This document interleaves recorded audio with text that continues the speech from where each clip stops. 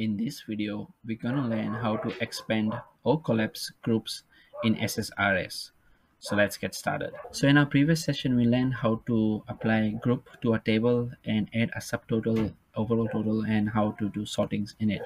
So let me just run the report and show you what we have at, at the moment. Now what we want to do is we want to click on that particular department and then we want to see the details of it. So let me show you how we can do it go back to your design and you know that your grouping is applied from the department field. And so you will be using this to trigger the expand and the collapse button. So click on it and ensure you have the properties visible. If it is not visible then click on view and ensure that your properties is ticked.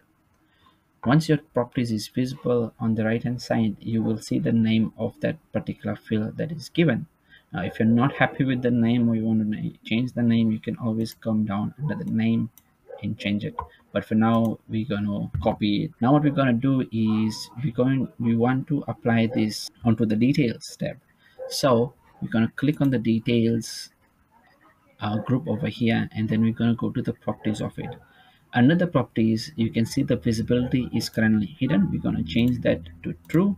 And then what is the toggle item that we require? We're to either you can paste it or if you remember the name you can select the name over here. Once you're done at this stage let's run the report and see if it runs or if there is any error. So let's run the report and you will see that it does collapse. And so there you have it. So this is one of the ways that you can uh, collapse and expand your group. I have created another report just to give you an idea of it.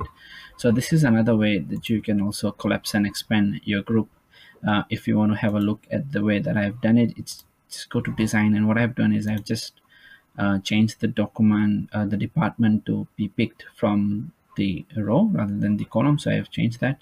And the difference you'd see over here is that this is picking from here and this is picking from here. So the advantages there's having it on the header is you can hide everything including the header and the total value as well but you won't be able to do it on the column because if you like try to hide the total then it will try to pick the value of the first because it will read it from the rows. I hope you have enjoyed this video. If so please do give a thumbs up and subscribe to this channel.